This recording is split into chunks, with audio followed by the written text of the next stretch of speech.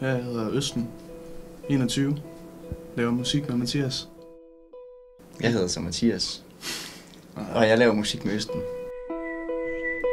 Kan du høre mig nu? Vi har jo ikke som sådan nogen tilknytninger til det er jo. Er det tredje gang, vi overhovedet er nede og besøge det. Ja, ja. Så det er, det er ret nemt at komme til det her studielokale.